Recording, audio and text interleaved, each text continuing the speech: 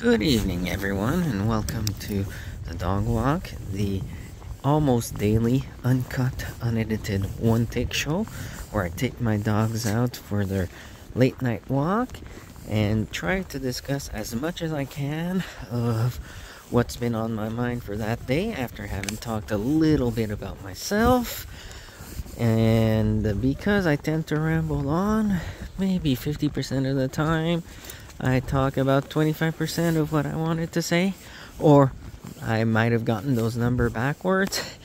Anyway, it's one of those days. Um, speaking of which, if you're not interested in knowing more about me, I will get to the actual topic a little bit later on. I'm going to try to start to put timestamps in my videos so you can skip ahead.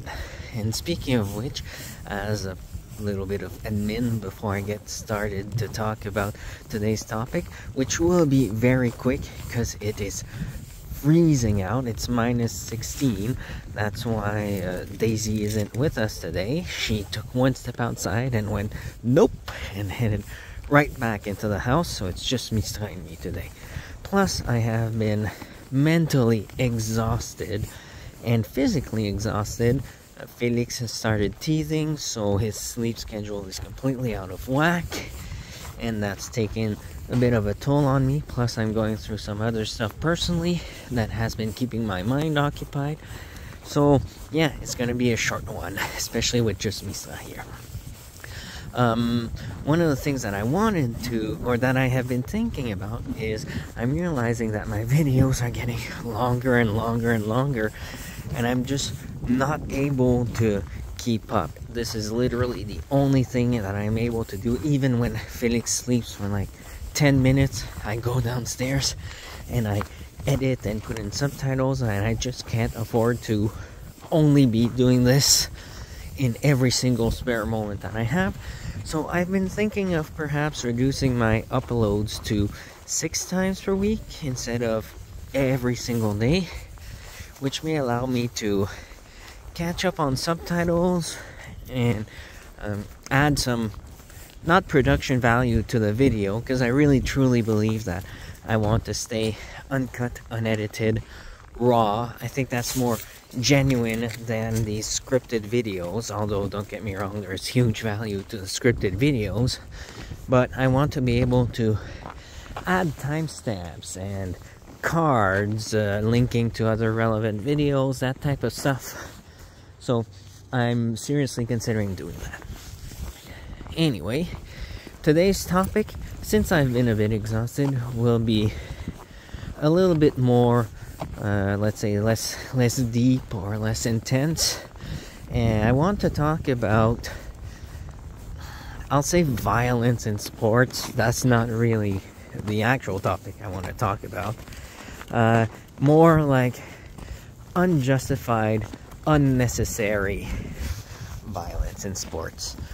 And this is triggered by uh, my friend JF linking me uh, or telling me to look at a recent hit.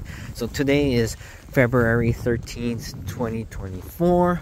I think the hit was about two days ago. It was a Maple Leafs player, Morgan Rielly, hitting a Sens player.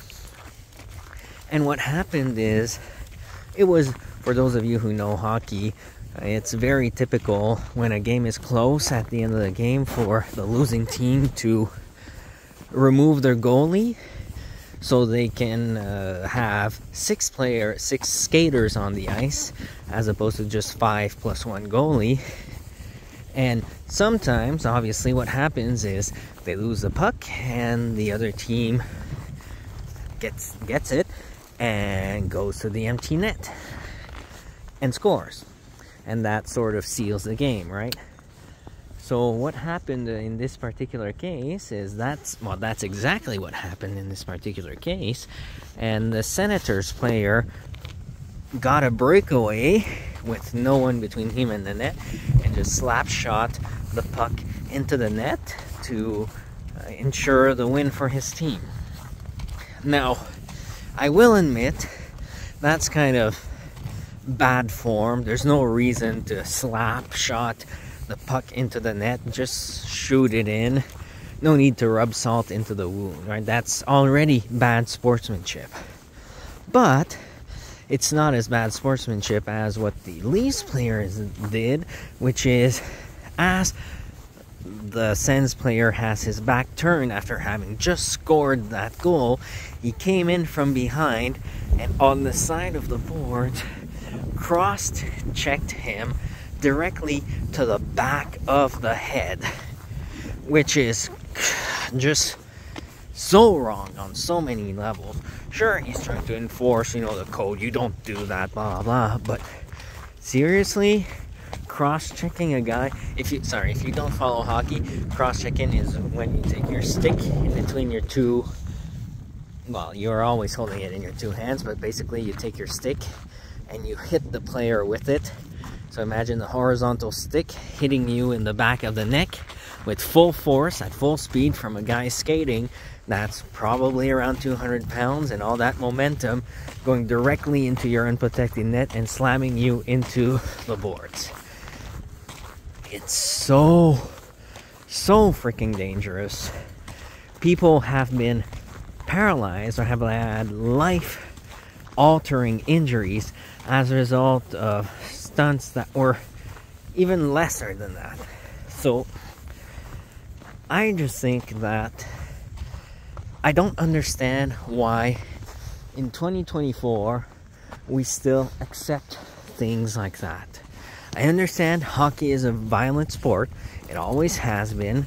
I mean, I grew up with hockey, I've seen all the players, the, how many hockey players still have all their teeth, right? Not that many. And I did go through the 90s era and all that, so I've seen it be much worse with the enforcers and all that. But I think that we can't accept things like this anymore. Uh, if this is just one example, the other reason why I wanted to talk about this is I was I watched a random YouTube short a day or two ago where a boxer knew he couldn't win so he started to hit his opponent behind the head, behind the on the neck. Again, same spot, right? Huh, curious. And that is completely illegal in boxing too. You know, in a sport where your entire goal is to hit the other guy as much as possible and and knock him down, that's something that's not allowed. There's a reason for that. In that short, the boxer who got hit multiple times behind the head, well, he ended up being paralyzed uh, and he's in a wheelchair now and he I'm not sure if he can speak, but basically his entire life is ruined because of this one idiot who was a sore loser and who went to those lengths to try to win his match. Now, I know that there's always been cheating in sports, and you always hear those stories about people loading their gloves in boxing and things like that. My god, it's cold. But I guess my point, or my point of view, I should say, is imagine this is something that happened in the street what do you think would happen to the, the guy who takes a stick to the back of the neck of someone else? In broad daylight, in the middle of downtown of whichever is your biggest city in your country, and is witnessed by thousands of people doing this. What do you think would happen to that person?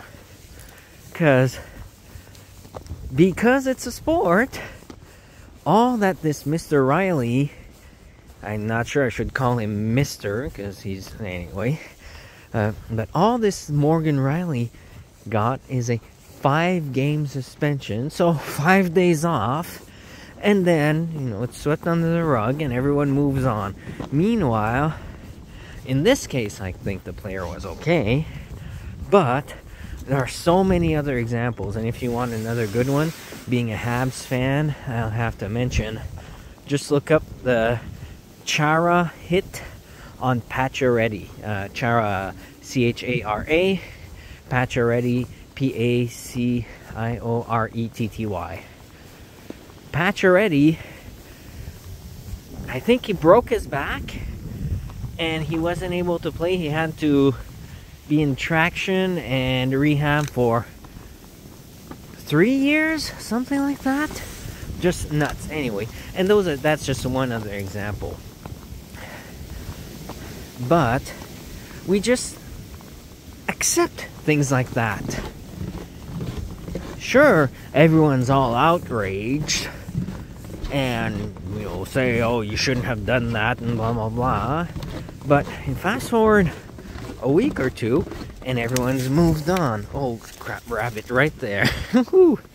uh, meanwhile, as I was just saying, if that had happened in broad daylight, the guy would literally be in prison. He'd be in jail for not just for assault, but probably even more than that.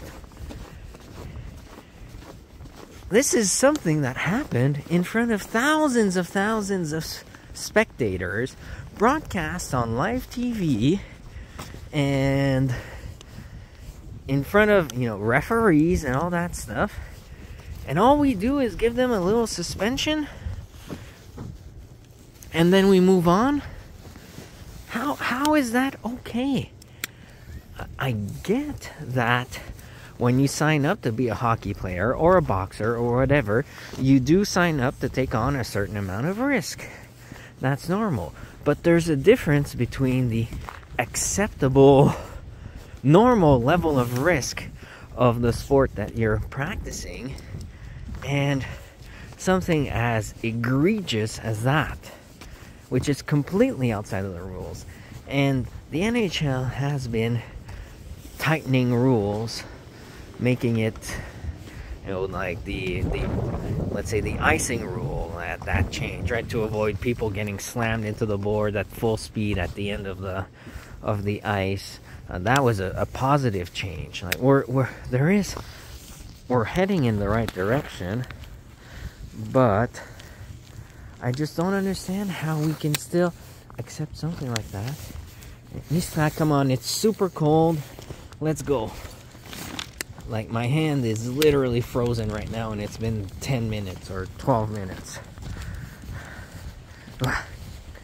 Anyway, I'm not really, I don't have a lot intelligent more to say about this topic except that I just think that this is the type of stuff that players should not be okay with, that owners should not be okay with, that fans should not be okay with. Like, do you really, is your bloodlust really that intense that you can't have enough of the large amount of fighting and hitting and everything else that's already going on in hockey that's quote unquote legal in the rules? You have to, you're willing to accept people doing stuff like that, people possibly paralyzing your opponents or have you know doing stuff that's going to be life altering to them, to their opponents, and they just get away scot free.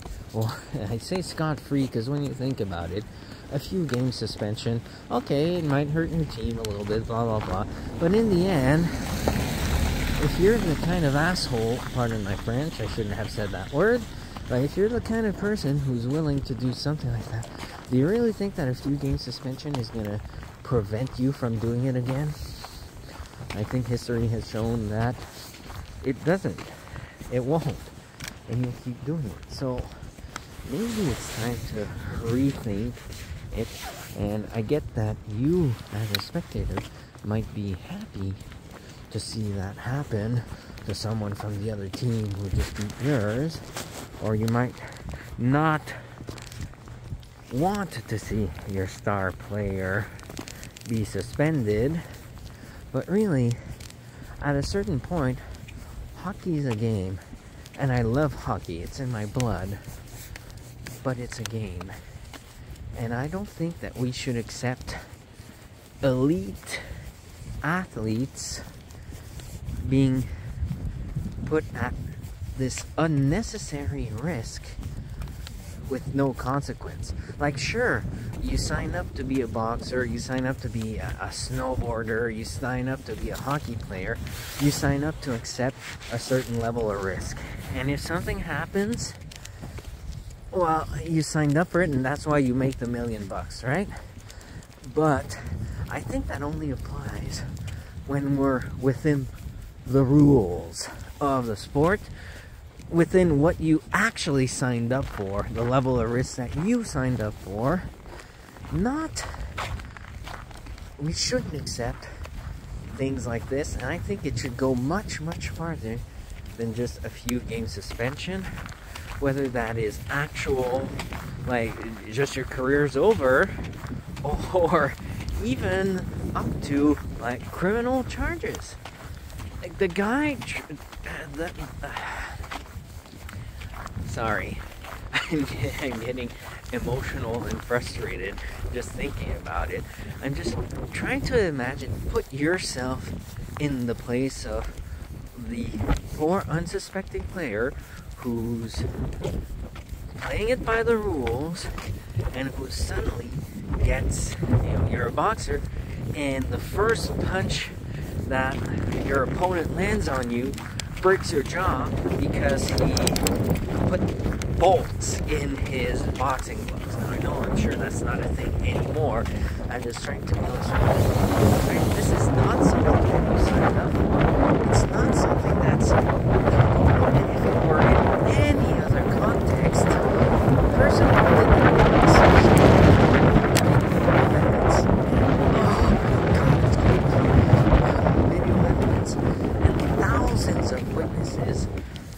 person in any other circumstance would go to jail or would at least have charges laid upon them, right?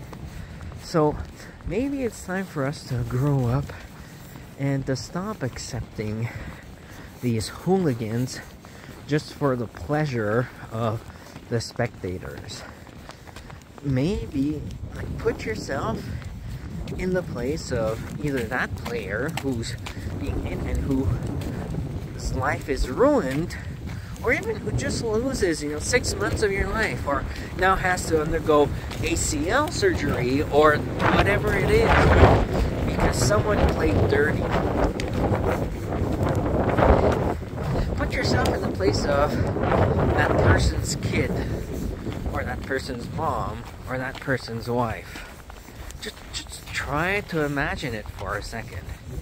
And I know you can't because unfortunately, since we're raising a generation, I won't go down that part. Let's just say people are so individualistic that even if they try to have the empathy to put themselves in the place of the victim, they, they don't. They don't actually really think it through. So, I guess all I'm trying to say is maybe it's time to grow up maybe it's time to become adults and to stop accepting things like that. Just trust me, if one or two guys get literally thrown in jail or get not just suspended for a few games, but uh, you know, like banned from playing ever again when they do stupid stuff like that. I think things, that type of behavior would die down quite drastically.